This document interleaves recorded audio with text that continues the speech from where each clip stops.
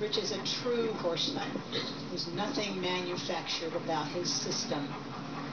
He's been partnered with Flexible for all of his career and just coming into their own. They're in such a groove right now. They just had a brilliant lead up to this Olympic Games. He won three selection events to be named to the team. And he's got his family, Shelly, and two kids. He's an Oregon State University uh, graduate, so all of those classmates, I'm sure, cheering him on here. Watching at home and one rail down.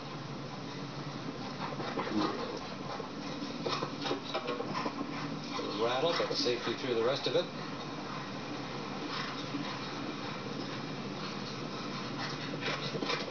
Oh, trouble there. Rich is such a forward rider. Just continues from fence to fence. This, this horse and rider combination know each other so well. Uncharacteristic. Those are the first rails he's had down since he won the World Cup finals before the World Cup finals in April. He's been on such a roll. But he should easily make it into the individual competition and he'll be America's great hope hopefully along with McLain Ward if he qualifies for the individual. So Rich Fellers